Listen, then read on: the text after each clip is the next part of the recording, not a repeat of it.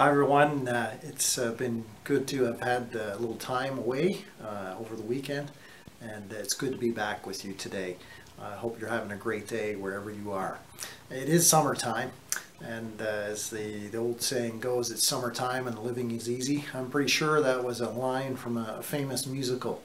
Well, it's summertime and I'm thankful for a crew of dedicated students who have said yes to the invitation to come and to serve at this church uh, during the summer. So uh, thanks uh, students for uh, your willingness to uh, be involved in that. I'm, I'm excited for this crew and uh, I, I, think we can all look forward to all of their contributions that they'll be making during the summer.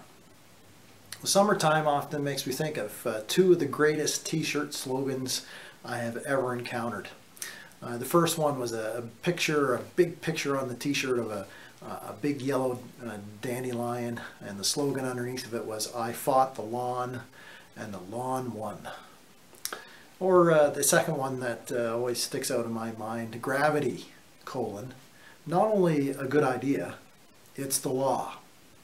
Law. Well, law means standard, of course, and, and it's been, uh, I've been reading a bit today, uh, this morning, about uh, the difference between cynics and skeptics seems like a strange uh, thing for a uh, pastor to be reading about, but it uh, certainly uh, fits well in life and ministry, though. that it's helpful for us to know the difference between cynics and skeptics, but there's something that that really bonds them together. That is a common theme for them. That cynics and skeptics both need the law, just like any of the rest of us. And uh, in fact, uh, in a world that's dominated by individualism and uh, the relativism that uh, flows from uh, uh, people being ruggedly individual, will never go wrong by appealing to the standard. God's standards are in the Bible because they're true.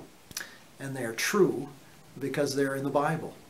You see, God speaks to us His truth and uh, his truth can be demonstrated.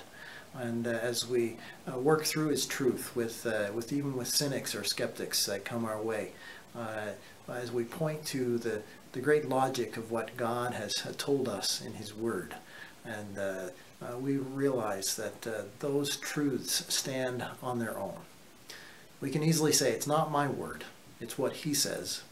And he says it because he knows what is best for us. So I love that, that, that word, that famous word from Deuteronomy chapter 6. It's a reminder to us. The Lord our God, the Lord is one. He is the standard, and we never go wrong by living by the standard. Well, I hope you're having a great day. God bless you. And if you uh, have a good t-shirt slogan, I'd love for you to send it in to me.